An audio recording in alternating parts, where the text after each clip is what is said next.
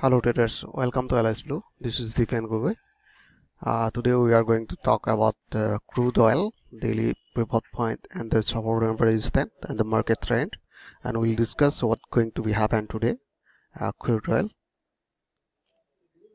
So first you can see to the uh, this is a daily chart and the crude oil and the today pivot point is 4067. First support 4123 and the second support 4175 and the third 4231 the server resistance and the first support uh, 4015 and the second support 43959 uh, and the third 3907 so here you can see this is the crude oil continuously price is falling down last a few days. So after breakdown this uh, 200 moving average so uh, that was the last uh, supporting zone. And they're running in a range. So just I wanna draw it uh, this on the channel. So here you can see. This is the channel. So they are following this channel.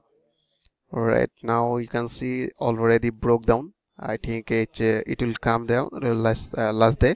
So again they pull up to uh, in between this channel. So again they are coming uh, in the downward. So if you see in the forward chart so forward chart which clearly they're creating lower low so i put the indicator which call zigzag pattern. So it's better to find out the price action. So you can see the they're creating lower low continuously. So here giving some uh, sideway. So i just uh, want to draw a sideway market so you can see this is the sideway market. There right now they're running in this range. Uh, this is the sideway it's called price consolidation. So here if you see in the 30 minute so price is running right in this range. So i just remove this uh, channel line. So their price is running in this range. So if you want to trade so you just trade in this range. So yesterday i told it i told you that uh, you just trade in this range only. So still they are running because uh, I think they will uh, so why it's happening? So you can see just a minute. So they're following this 50 moving average right oh sorry 100 moving average. Just that they are following here. Here following. Right now you can see they are coming near to 50 uh, sorry 100 moving average. So i think here you can see daily resistance line also here around the 4151 and here you can see 100 moving average also just uh, like that uh, moving average is just uh, near 100 moving average and price is falling down. And i hope from this area they will go up near to 100 moving average and price again it will fall down. Okay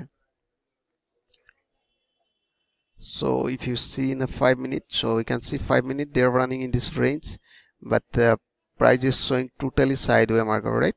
So uh, what the people are doing big mistake. So here you can see uh, when they will break this level around on the 4118 level because people are thinking that they broke down that uh, uh, previous higher and it will go up. But if you see that uh, but doing small uh, yeah you can see here is the range right market range.